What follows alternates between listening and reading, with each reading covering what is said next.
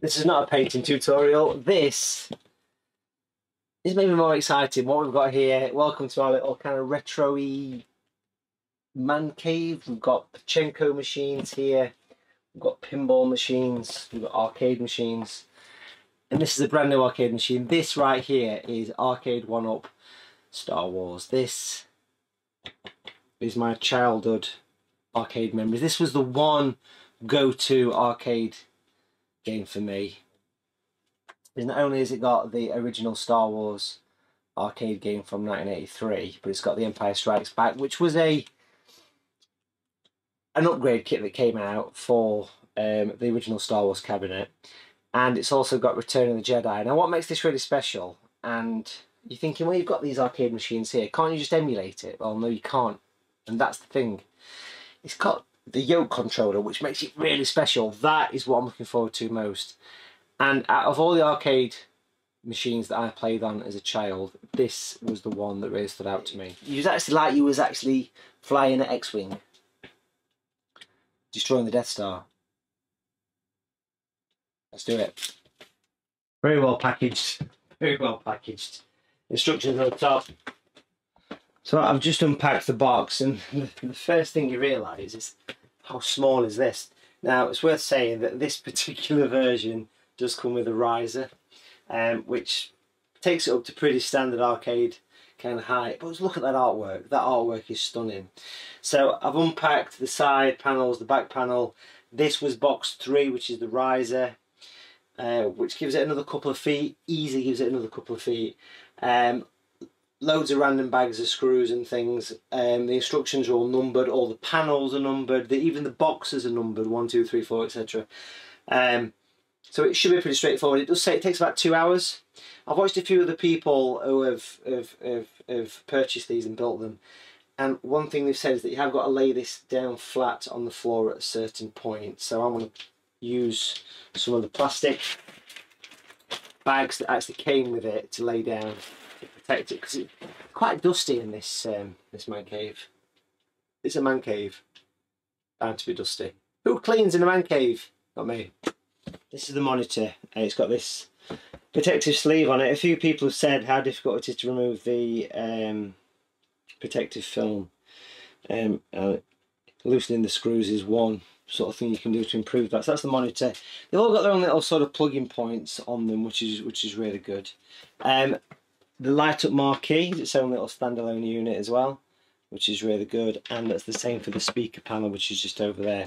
So I'm to put them bits to one side we're not quite there yet. I'm just kind of going through all the individual boxes. There's four big boxes that come with it internally. You know this is this is what really makes it stand out.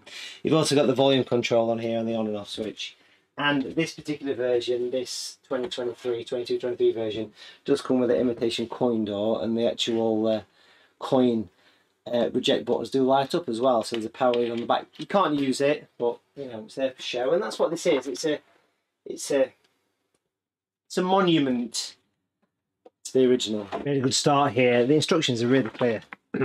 this this beats IKEA, so um, yeah every item's labelled. There's there seems to be, I don't want to tempt fate, but seems to be a few spares in there as well, uh, which is really cool. And yeah, it just seems to be very picture based. Yeah, it's definitely um, a tip here is to loosen the screws around the bezel of the monitor and then this this protective film comes off with ease. Say hi to the YouTube channel. Hi. And what's your YouTube channel called? Jacob's Adventures 882. Make sure you subscribe for Jacob's Adventures. So it's kind of in its mini stage, so you can see the height of it so far. this is this took about an hour to get to where we are now. And uh, the last two big screws go in here, which kind of holds this together. The tricky bit so far, the build, was getting the marquee and the speakers on. Um, I did remove the perspex before I uh, put that on, and that was a blessing. So these two go in, and then look at the instructions. The next stage is to attach the control panel. This was an absolute swine to get on. Just behind here is two blocks labelled J, I believe, and there's these round metal um, positioning lugs, and this one just would not fit. So I had to basically put the wooden uh, blocks on before, then attach them. So that was a that has been quite the trickiest bit so far. That getting the marquee and the speaker panel to line up was a bit tricky as well, but we seem to be close now. The next job uh, in the manual is to do all the wiring. So on the back of the monitor is the main power. Um, it looks as though you connect the marquee to the top, the speaker to the bottom, the main power goes in here, and then there's like a double adapter uh, which connects the coin door. So I've constructed the riser. Now it tells you to put four screws in the bottom of the riser and drill and screw straight into this. It, it, it clearly says in the instructions that there's no pre-drilled holes on this. I kind of don't want to do that. I want to see what it's like um, once it's in. So I want to move this into location. It's all geared up, ready to go now. So it's the big switch on. Too bad.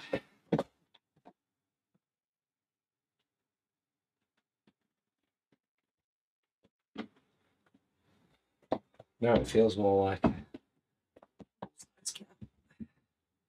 Yeah, I mean that fits pretty pretty nice. It's in place. It looks great. It fits just nice there. Of course, we've got the two Star Wars Pachinko machines here, which just fit great. I've got a Star Wars uh, canvas on the wall as well. This is it. Switch it on. It's all plugged in. Power switch.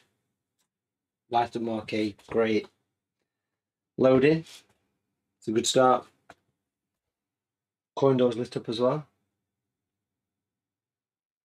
And there we go. Arcade One Up logo.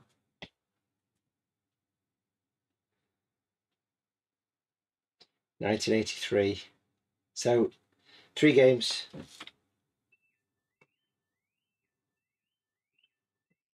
we have a beer. Here's to a successful build. Cheers.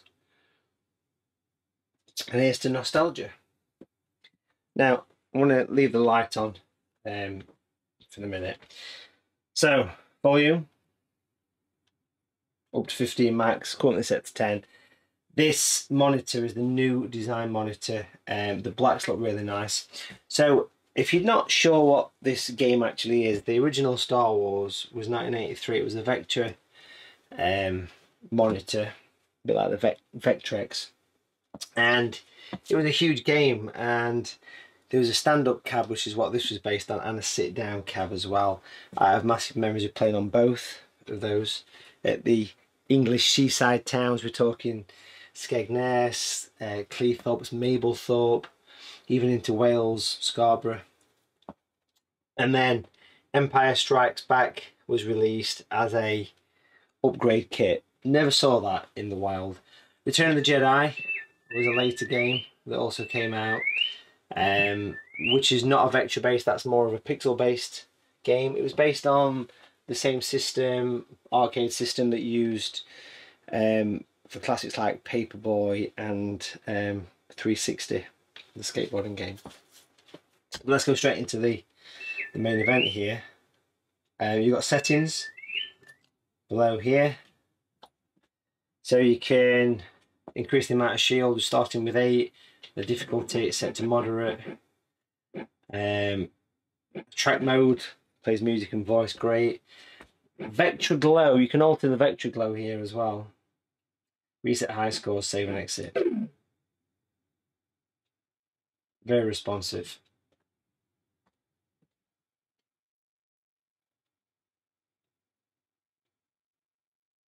Let's go straight in. Star Wars. Bit of instructions. Nice little cutscene. Take it down, touching it. Of course, I remember the speech that this game had. Turn the light off to help with reflections. Four triggered start. Good try, Danny Rod. So you got easy. This just brings so much memories back. Uh, medium and hard, of course. Let's go for easy. Oh wow.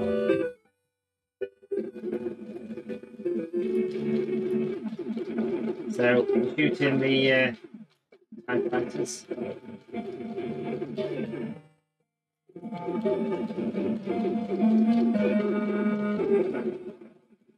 Those stars that are coming towards us are their shots, so you can destroy those. Course we have the trench oh, root. Because this is on easy, one, you're just basically shooting the, the shots in the tower. And of course, when you get to the end of the trench run, you shoot the uh, exhaust port, which is coming up in a You second. got that. Oh, You know you can do got it. And then of course it zooms back. And then boom. Quite a simple game, but just playable. I mean, you've got to think in 1983, this was like playing, like flying a, like uh, an X-wing. Now you press all four buttons to quit. For a few seconds. Back to the menu.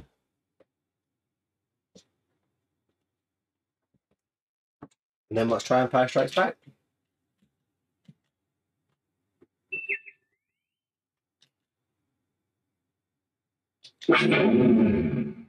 Exactly the same controls. It was basically a upgrade kit. Difference here is you do actually attack ATATs. Um, He Fine. could destroy us. May the force from be with the, you. again, we'll do easy. There's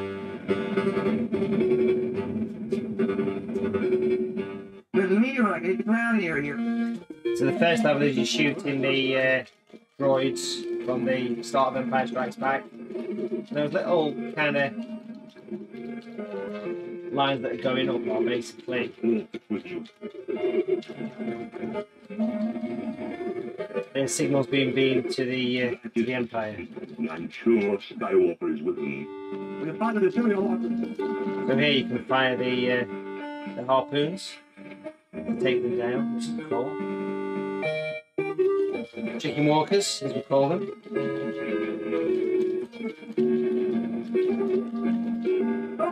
Might be our only chance of stopping. Shield doors must be closed. Quite a playable game actually. This. Watch the crossfire, boys. They barely could have the light. I want that. shit. No. So now we're in the Falcon now. And we're defeating TIE fighters. And very soon we'll end up going to the asteroid field. Star Destroyer.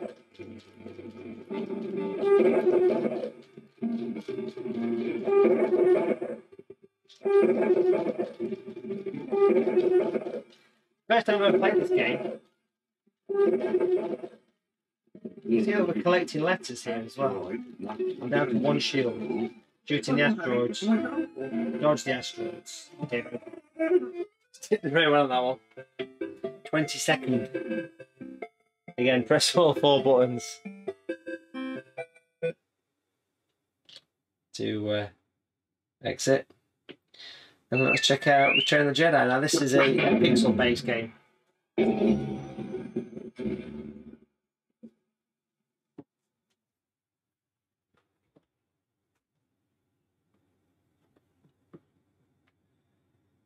Now, at the minute, it's just The security reflector shield will be deactivated. Pixel art, when we can go into the send and put scan lines on to make it look more like a CRT. Might try that in a for help. Hi, Steven. Wait for me. So then here, this is you- you're dodging the trees and shooting. Oh, or you pull back, which is which is great. You can shoot forward, pull back. Of course, if you go through the Ewoks traps, they will help you defeat the guys. Oh, quite all crashed into a tree.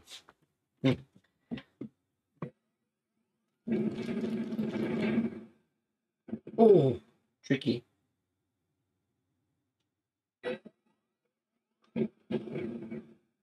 Oh, man.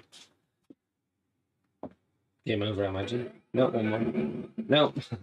Not doing very good at that one.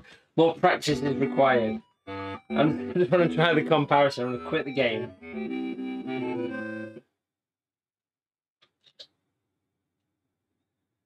And then we're going to go into the settings for that one. And we're going to put the scan lines on. So makes it. Scan lines, if you're not sure, basically replicating a CRT, an old school monitor. Let's have a look how that looks. I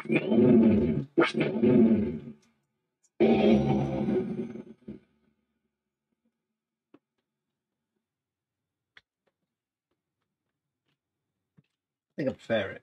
The security reflector shield will be deactivated when we have confirmation of your code transmission. Leave them to me. Deal with Winston. Go for help. Hi, Steven. Wait for me. There's a bit of a strange line effect, actually. on this. I don't know.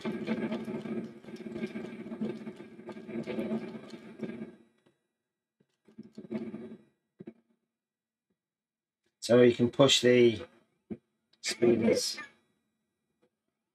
Very difficult this to dodge those trees. Made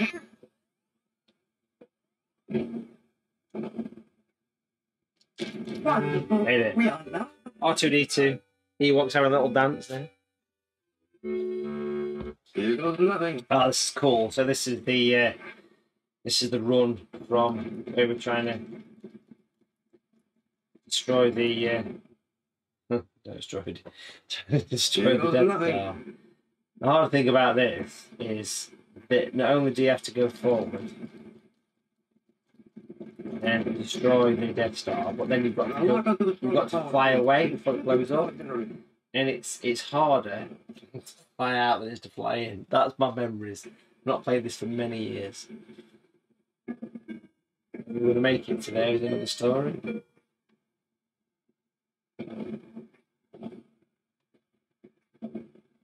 Something done. Nope. Try again. Two lives.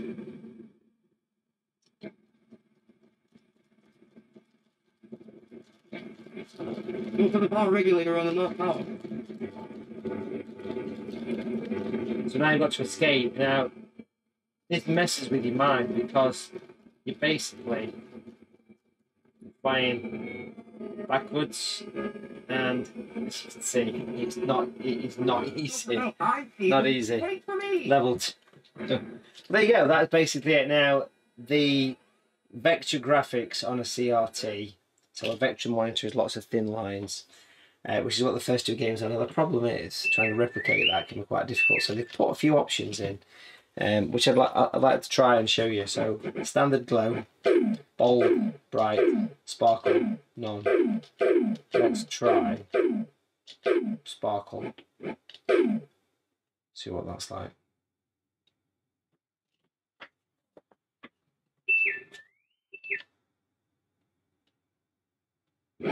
Making sure I did it on the right one just then.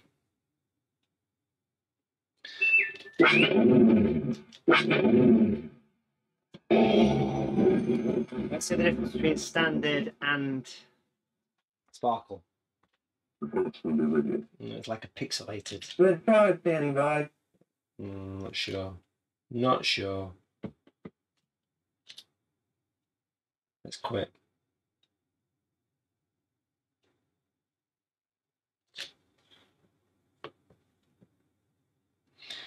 Let's change that too.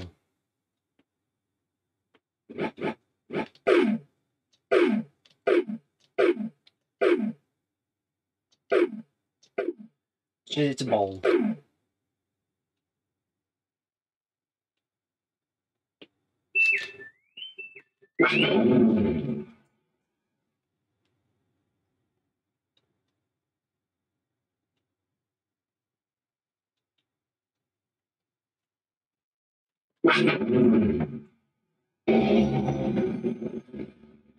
Love the cutscene. You. That's quite nice. Seems to dull the screen a bit though, I think. Don't the screen.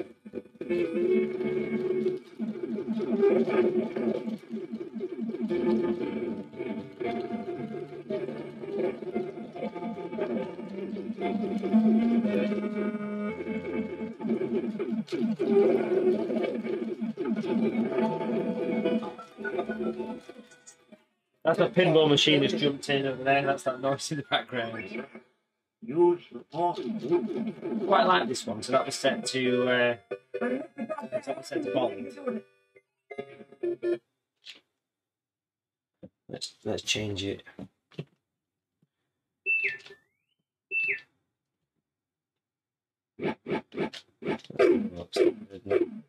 Let's try bright.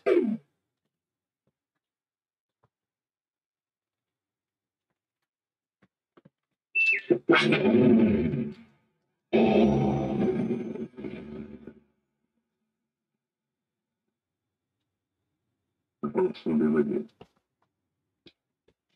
try, standing by. You can just see like a haze around it.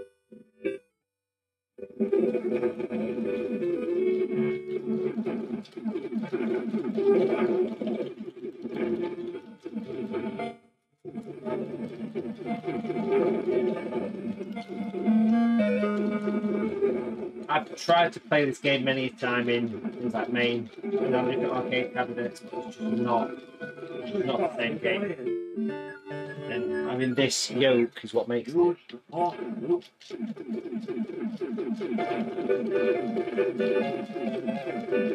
remember playing it on my old Amstrad CPC computer.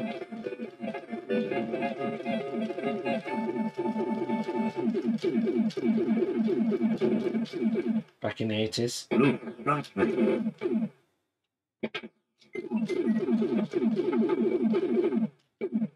I quite like this one. This one is bright. It's got a, nice glow. Shot a million.